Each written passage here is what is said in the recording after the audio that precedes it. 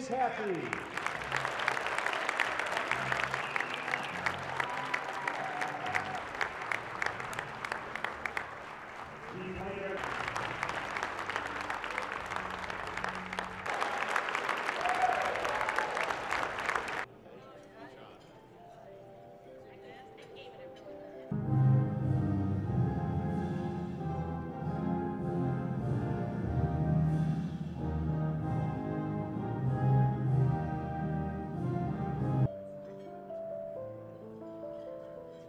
Number one, five.